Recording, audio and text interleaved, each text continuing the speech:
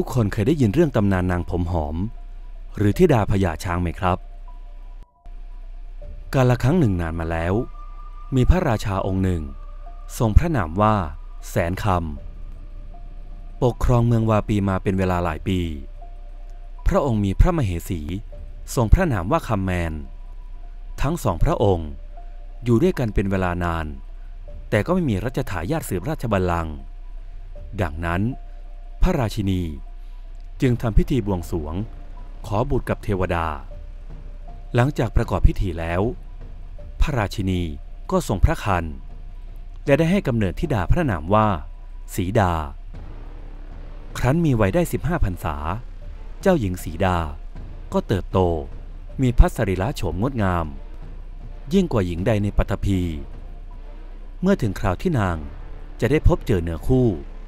ก็ทำให้รู้สึกกระวนกระวาย กระทั่งต้องขอทูลอนุญาต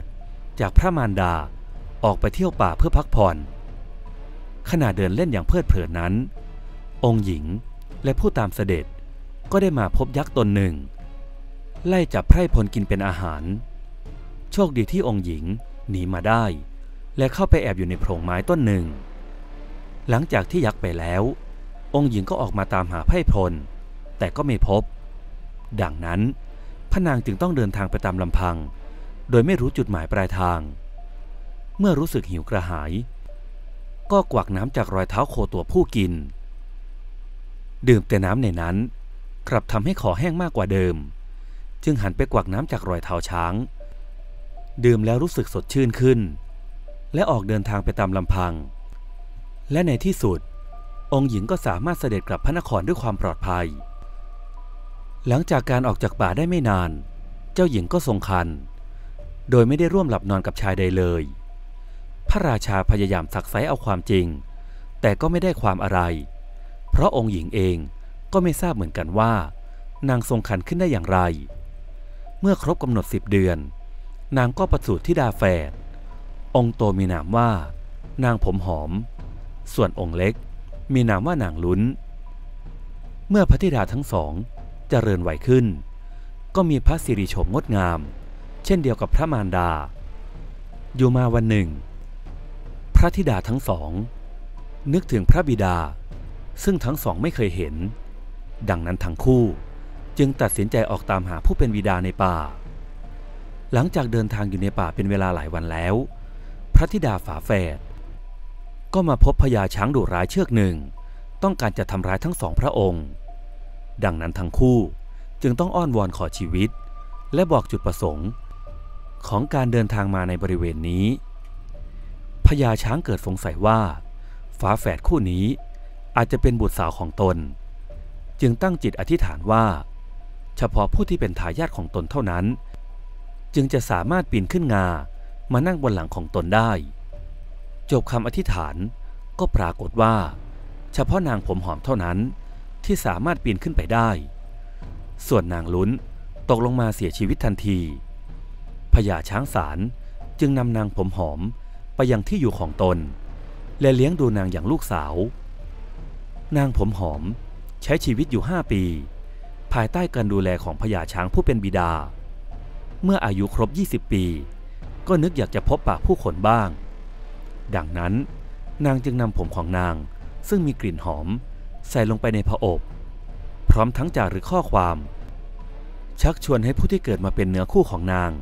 ได้พบนาง แล้วก็ลอยผอบนั้นลงในแม่น้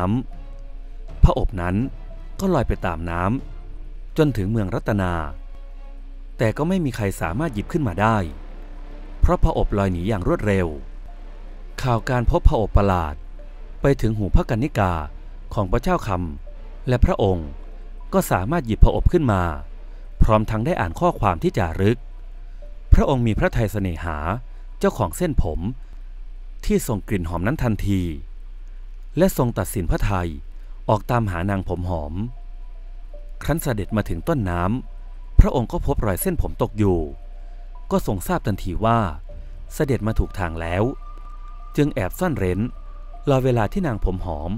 ออกมาอาบน้ำในแม่น้ำ ทันทีที่เห็นนาง พระองค์ก็เปิดเผยตนเอง ทั้งคู่ตกหลุมรักตั้งแต่แรกพบ และแอบอยู่ด้วยกันฉันสามีภรรยา โดยไม่ยอมบอกให้พญาช้างผู้เป็นบิดาทราบ ถึงแม้ว่าพญาช้างจะมีความสงสัยในตัวลูกสาว เพราะได้กลิ่นมนุษย์ แต่ลูกสาวก็ไม่ยอมบอกความจริง หลังจากแอบอยู่ด้วยกันสามปีแล้ว ทั้งคู่ก็ตัดสินใจต่อสู้ความจริง และบอกให้พญาช้างทราบ พร้อมทั้งขอขมาพญาช้างพญาช้างรู้สึกเสียใจที่ลูกสาวไม่ยอมบอกให้ตนทราบเลย และล้มเจ็บลง หลังจากทราบข่าวอีกทีว่า ลูกสาวกำลังจะจากไป เพื่อใช้ชีวิตอยู่กับมนุษย์ ผู้เป็นสามีของนาง ก่อนสิ้นลมหายใจพญาช้างได้อบรมสั่งสอนให้ลูกสาว เป็นภรรยาที่ดี และทำหน้าที่ภรรยาให้สมบูรณ์ แล้วก็สิ้นลมหายใจในขณะนั้น ทั้งคู่รู้สึกสลดใจ และกราบลาเป็นครั้งสุดท้าย บัดนนั้นเอง งาข้างหนึ่งของพญาช้าง ก็กลับกลายเป็นเรือ ส่วนอีกข้างหนึ่งก็กลับกลายเป็นพาย พระเจ้าแพงคำจึงนำนางผมหอมขึ้นเรือ แล้วพายไปสู่พระนครของพระองค์ หลังจากเสด็จมาถึงเมืองของพระองค์ พระองค์ก็แต่งตั้งนางผมหอมเป็นพระมเหสีของพระองค์ แล้วทั้งสองพระองค์ ก็ปกครองเมืองรัตนาอย่างมีความสุขตลอดมา